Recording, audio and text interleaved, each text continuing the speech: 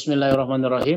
Kalau kita berdakwah, itu kan sama seperti kita berkomunikasi, harus ada kontennya. Konten dalam konteks dakwah berarti materi dakwah. Jadi kalau kita mau berkhutbah, mau ceramah, kita harus kita harus eh, siapkan materinya. Karena apa? Dakwah itu menghendaki adanya perubahan. Perubahan pemahaman, perubahan sikap, perubahan e, tingkah laku. Perubahan pemahaman, perubahan sikap, dan perubahan tingkah laku.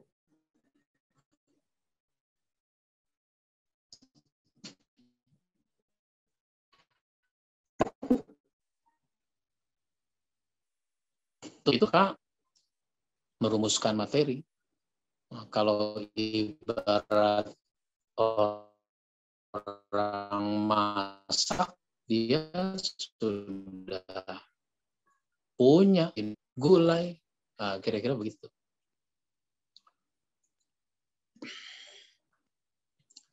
Bagaimana menyiapkan materinya? Ya, yang gampang-gampang saja.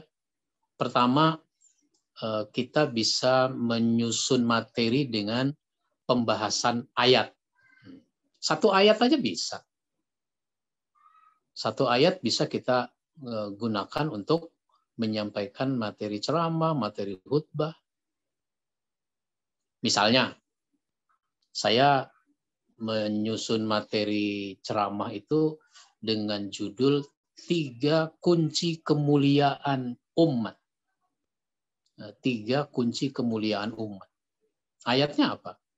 Eh, Yas'alunaka anil anfal, ayat surat Al-Anfal ayat 1 itu. Karena ceritanya surat Al-Anfal itu kan eh, sahabat itu konflik karena meributkan harta citra umat.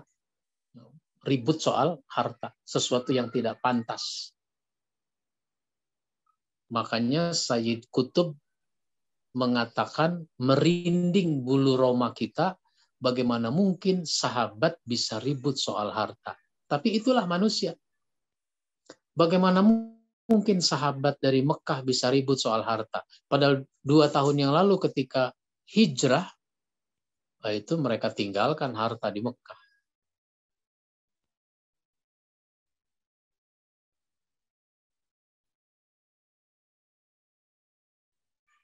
Begitu juga orang Madinah bagaimana harta. Sekarang kok ribut. Hmm.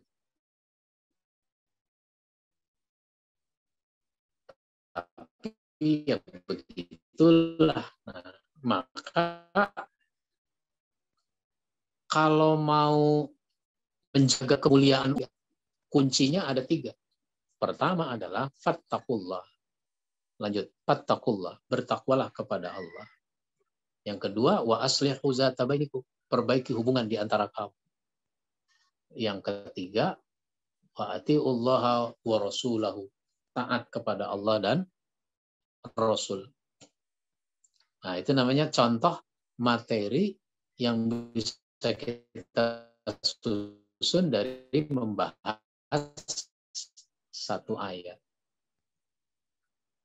Itu dengan beberapa tema. Hmm. Pilih beberapa ayat dengan tema yang sama. Lanjut. Misalnya eh, empat keharusan Muslim, yaitu Islamisasi diri dengan menjadi Muslim yang eh, total. Ayatnya eh, Al-Baqarah 208, Udhulu Fisil Mikafah itu. Misalnya lagi yang kedua, islamisasi keluarga. Islamisasi keluarga. Slide-nya lanjut. Yang ketiga adalah islamisasi masyarakat. Lanjut. Eh, yang keempat istiqomah. Nah, itu itu itu bisa jadi materi berdasarkan ayat. Jadi kita bisa eh, menyusun bisa menyusun materi dari satu ayat saja. Dan banyak satu ayat itu bisa kita bahas. Bahkan ada poin-poinnya di dalamnya. Nah, dan atau kita susun kumpulkan beberapa ayat yang senada ya, atau yang bisa kita susun menjadi sebuah tema. Nah itu yang pembahasan ayat. Yang kedua adalah pembahasan hadis jadi satu hadis saja bisa kita bahas untuk kita khutbah, untuk kita ceramah. Misalnya hadis tentang empat hal yang harus dipertanggungjawabkan. Kita bisa pilih nih banyak hadis-hadis seperti ini. La tazulu qadama 'abdin fi yaumil qiyamah hatta yus'ala an arba'in. Tidak beranjak seorang hamba dari tempat berdirinya pada hari kiamat sehingga ditanya tentang empat perkara. Nah, pertama, an umurihi fi ma'afnahu. Umur untuk apa dihabiskan. Bicara umur berarti bicara waktu. Bicara uh, waktu dalam hidup. Untuk apa kita habiskan? Allah beri kesempatan pada kita waktu yang sama. 24 jam tiap hari. Efektifkan waktu. Allah bersumpah dengan menyebut nama-nama waktu. Wa an ilmihi fi fa'ala fihi yang kedua. Ilmu untuk apa diamalkan. Kita harus cari ilmu, habis punya ilmu untuk apa ilmu itu? Untuk kebaikan atau untuk keburukan, untuk kejahatan. Yang ketiga, wa an malihi min aina tasabahu wa fima anfaqahu. Harta dari mana kamu dapat? Untuk apa dibelanjakan? Ternyata pertanggungjawaban harta itu ada dua. Kalau yang lain satu, umur untuk apa dihabiskan, ilmu untuk apa diamalkan. Nanti jasmani, badan, untuk apa dipergunakan. Nah ternyata harta, dari mana kamu dapat? Halal apa tidak? Katakanlah halal, masih belum selesai. Oh, untuk apa dibelanjakan?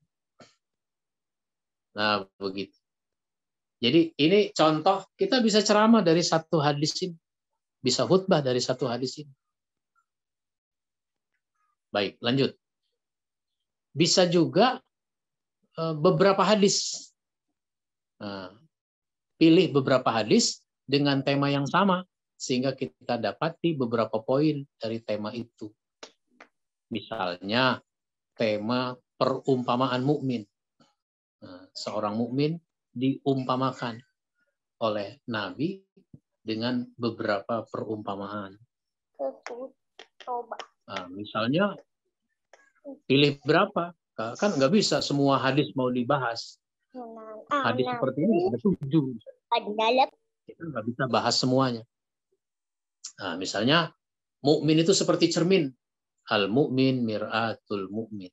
Mukmin itu cermin bagi mukmin yang lain seperti tadi itu Abu Bakar menjadi cermin bagi Umar. Umar bercermin pada Abu Bakar. Kan kalau orang bercermin, orang ingin menemukan kekurangan dirinya. Kalau kita bercermin untuk mencari kekurangan diri kita. Kalau ketemu kekurangan, kita perbaiki, kita rapikan diri kita. Begitu juga dalam soal kepribadian perasaan saya sudah dermawan, ternyata ada lagi yang lebih dermawan. Perasaan saya nyumbang udah banyak, ternyata ada lagi yang lebih banyak. Padahal dia dapatnya sama sama saya. Dia kok bisa infak lebih banyak, saya kok nggak banyak, nah, gitu. nggak sebanyak dia. Nah begitu. Misalnya lagi hadis masalul mukmini masalun nahlat. Mukmin itu seperti lebah. In akalat akalat toiban kalau makan makan yang baik. Maka seorang mukmin mestinya kalau mengkonsumsi mengkonsumsi yang baik. Boleh juga disinggung. Rokok itu baik apa buruk? Jadi bukan soal halal haram. Rokok itu baik apa buruk? Jadi rokok itu tidak toyib, tidak baik. Seorang mukmin mesti tidak merokok, nah, misalnya. Wa in wadu'at wadu'at toyiban.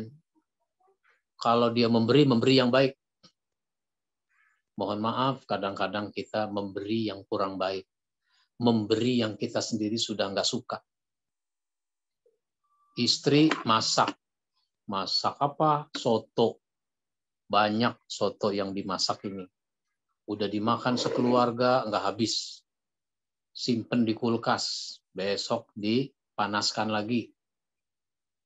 Udah dimakan lagi nggak habis. Hmm. simpan lagi di kulkas. Nah, waduh kalau nggak habis juga nih hari ini bisa basi. Nah, akhirnya apa? Bagilah tetangga daripada basi. Hmm. jadi bagi tetangga itu bukan karena kita mau membagi tapi karena daripada basi itu namanya memberi yang tidak baik. Kalau lebah memberi madu kepada kita. Wa in waqa'at ala 'udin nahirin lam taksirhu. Kalau hinggap di kayu yang lapuk sekalipun dia tidak mematahkannya. Itu artinya jadi orang Islam, jadi mukmin mestinya jangan suka bikin rusak. Nah, gitu. nah itu contohnya. Jadi ini namanya beberapa hadis bisa kita gabung untuk satu pembahasan. Ya, baik untuk khutbah, untuk ceramah dan seterusnya. Uh, yang berikutnya kita bisa gabung. Jadi ceramah itu bisa juga menggabung ayat dan hadis. Nah, ayat dan hadis gabung jadi satu. Misalnya di dalam Quran ada ciri-ciri mukmin. Di dalam hadis juga ada ciri-ciri mukmin. Nah, gabung saja sampai menjadi rumusan. Ciri mukmin dalam Al-Qur'an dan hadis. Judulnya bisa begitu kan? Ciri mukmin dalam Al-Qur'an dan hadis. Tapi kalau banyak ya kalau khutbah nggak cocok karena waktunya sedikit. Tapi kalau misalnya majelis taklim, sifatnya rutin, pengajian rutin. Nah, mulai malam ini kita akan membahas ciri-ciri mukmin di dalam Al-Quran dan hadis. Tinggal dikumpulkan itu. Nah, itu jadi pembahasan. Itu namanya bahas ayat dan hadis. Lanjut. Yang keempat, Uh, lanjut. Itu poin-poin tentang kalau digabung ayat dan hadis. Nah, yang keempat ini kita bisa ceramah dari membahas pendapat sahabat. Oh, sahabat-sahabat Nabi itu kan ada punya pendapat. Kita bisa ceramahkan itu pendapat sahabat. Misalnya pendapatnya Ali bin Abi Thalib tentang takwa. Ali bin Abi Thalib menyebutkan takwa itu dengan empat kalimat, empat rumusan. Yang pertama, al-khawf minal jalil. Takut kepada Allah yang maha mulia, yang maha tinggi. Khauf, nah, jelaskan apa itu takut pada Allah. Takut pada Allah itu jangan dibayangkan seperti takut kepada binatang buas yang kalau ada binatang buas kita menjauh. Nah, tapi takut pada Allah adalah takut kepada murka, siksa, dan azabnya. Maka hal-hal yang bisa mendatangkan murka, siksa, dan azab kita jauhi. Nah, itu. Al-amal bitanzil. Orang takwa itu yang kedua, kata Ali bin Abi Thalib, adalah dia beramal dengan apa yang diturunkan. Yang diturunkan oleh Allah adalah wahyu Al-Quran. Dan hadis. Karena hadis juga berdasarkan wahyu. Wa ma yantiqu anil hawa in huwa illa wahyu yuha. Dia tidak berkata kecuali yang diwahyukan kepadanya. Nah, jadi kalau kita melakukan sesuatu, lakukan sesuatu dengan landasan Al-Quran dan hadis. Begitu orang takwa. Maka kalau sesuatu itu bertentangan dengan Quran dan hadis, dia tidak melakukannya. Yang ketiga, orang takwa itu kata Ali bin Abi Thalib wal isti'dadu liyaumir rahim. Mempersiapkan diri untuk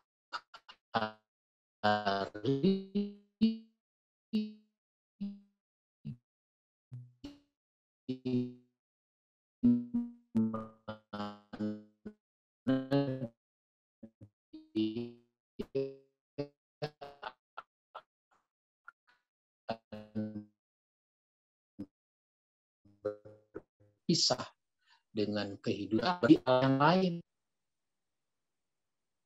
Di alam yang lain itu alam barzah, alam kubur.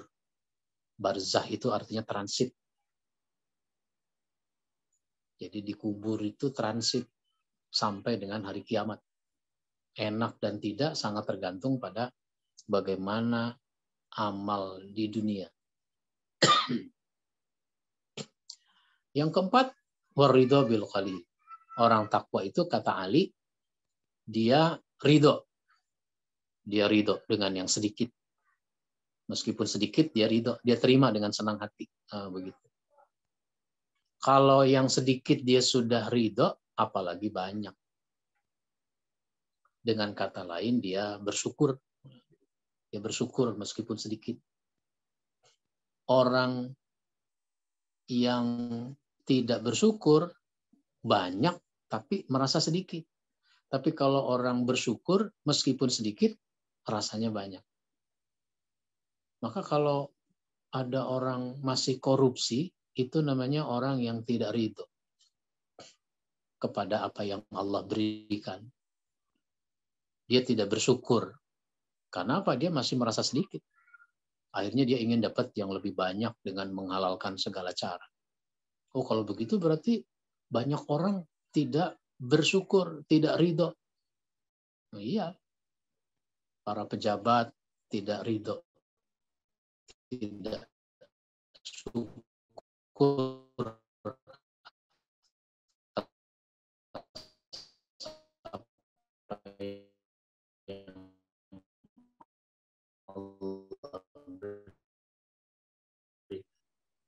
Allah buku misalnya uh, dua poin dalam khutbah Jumat.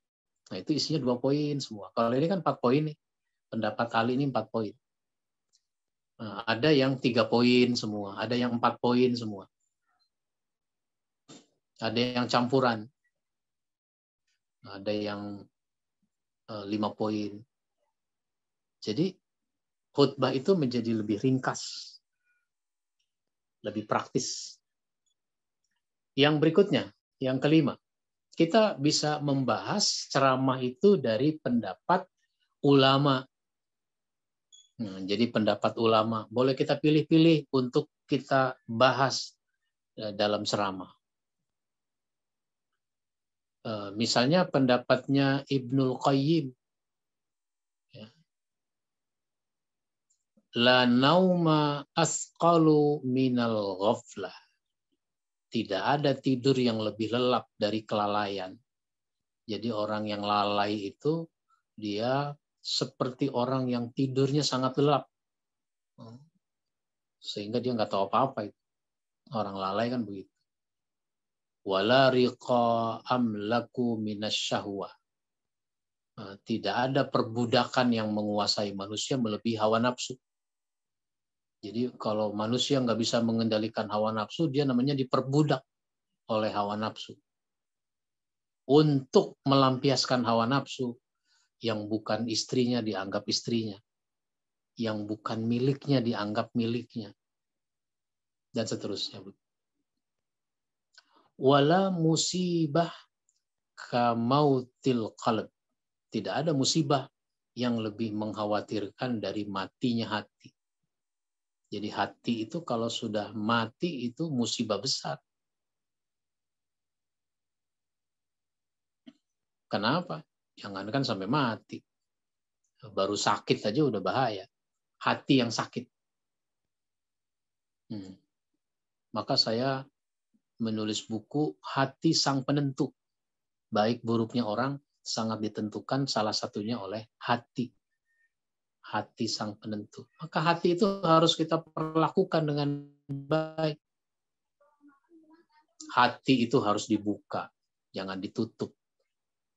Yang menutup hati itu orang kafir. Kafir itu kan dari kata kafaro yang artinya menutup. Buku, nah, buku ini ada covernya. Ini cover cover itu menutupi isi. Saya nggak tahu ya. Kata kafaro ini dari bahasa Inggris, dari menjadi kafaro, cover, atau bahasa Inggris ini dari dari kata kafaro bahasa Arab. Nah, itu yang ahli bahasa boleh boleh meneliti. Kapan menit bahasa, Iya, baik wala nazira ablagha minasyaib. Nah, tidak ada peringatan yang lebih sempurna dari usia tua, usia senja, usia tua, usia renta. Itu peringatan. Jadi makin tua orang makin uh, dia dapat peringatan. Lalu yang keenam kita bisa berkreasi sendiri. Hmm kita bisa berkreasi sendiri. Rumuskan sendiri aja. Misalnya saya punya tema bangga sebagai muslim. Bangga sebagai muslim. Orang kalau sudah bangga sebagai muslim, dia akan selalu tunjukkan identitasnya sebagai muslim. Nah, itu misalnya. Atau eh, kita bisa membuat pertanyaan dan jawaban. Bikin format pertanyaan dan jawaban. Kita yang tanya, kita yang jawab. Menjadi materi ceramah. Bagaimana supaya kita bisa istiqomah? Nah, bagaimana caranya supaya istiqomah? Cari jawabannya sendiri jadi materi. Lalu menanggapi masalah yang berkembang. Eh, kita bisa membahas materi dari apa yang berkembang. Eh, oh, sekarang mau pilkada. Oh, sekarang mau pemilu. Oh, sekarang ada gempa. Oh, sekarang ada corona. Nah, itu menanggapi masalah-masalah yang berkembang itu. Kita bisa juga eh, bikin materi ceramah model singkatan. Nah, bikin singkatan, boleh. Kalau kita mau bahagia dalam kehidupan rumah tangga, resepnya ada tiga. Saya singkat jadi TST misalnya, singkatan. Bukan tahu sama tahu, tapi takwa, sayang, Takwa kan bisa diurai dalam konteks rumah tangga. Sayangnya bagaimana dibahas lagi. T-nya tanggung jawab. Suami tanggung jawab, orang tua tanggung jawab, istri tanggung jawab, dan seterusnya. Nah, itu singkatan. Singkatan apa lagi? Apa saja itu bikin singkatan-singkatan. Tapi yang bagus kalau singkatan itu langsung hidup. T takwa, Jangan T-nya tertawa. Nah, itu, itu namanya masih ada awalan, nggak langsung singkatan. Bisa juga eh, materi ceramah itu yang terkait dengan momentum. Nah, susun itu materi yang sesuai dengan momentum. Ada Ramadan, Idul Fitri, Haji, Idul Adha, ada Isra Mi'raj, ada Maulid, halal bihalal, dan seterusnya. Itu momentum-momentum. Ada waktunya yang harus kita bahas juga dalam ceramah atau dalam khutbah. Eh, ada juga momentum yang terkait dengan kehidupan orang. Ada orang khutbah, lamaran. Saya diminta ceramah. Ya siap, siapkan materi untuk acara lamaran itu apa? Akad nikah, ada buku saya khutbah, 12 khutbah nikah.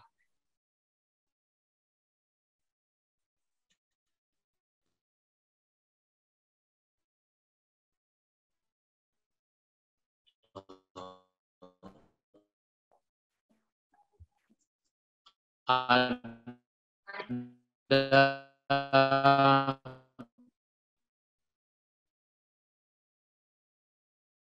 khitan ada uh, hari kemerdekaan, hari wanita, ada hari ibu, ada hari buruh, ada hari pahlawan, ada hari AIDS, semua itu itu kita kita kembangkan materi-materinya untuk kita berdakwah. Terakhir, pesan saya untuk bisa merumuskan materi dakwah, para dai ini dituntut untuk banyak membaca agar ilmu dan wawasan menjadi luas. Itu tadi sudah kita singgung. Yang kedua, rasa ingin tahu terhadap berbagai persoalan harus besar. Kalau rasa ingin tahu kan dia jadi mikir, eh, banyak bertanya dan cari sendiri jawabannya. Jadi kalau jadi ustadz itu bagus banyak bertanya, cari sendiri jawabannya dengan cara membaca. Sehingga nanti kalau kita mencari tahu dengan cara membaca, dengan membaca itu apa yang kita tidak cari kita dapat. Peribahasa kita mengatakan sekali mendayung dua tiga pulau terlampaui. Begitu. Jadi kita dapat banyak. Nah, terus biasakan menuliskannya dalam catatan. Jadi sesudah kita dapat materi itu Eh, kita rumuskan, catat. Nanti nggak hilang. Saya tidak suka mencatatnya di kertas selembar. Tapi saya lebih suka mencatatnya di buku kecil. Kenapa? Karena buku kecil ini tidak hilang. Tapi kalau kertas selembar, entah lepas di mana itu.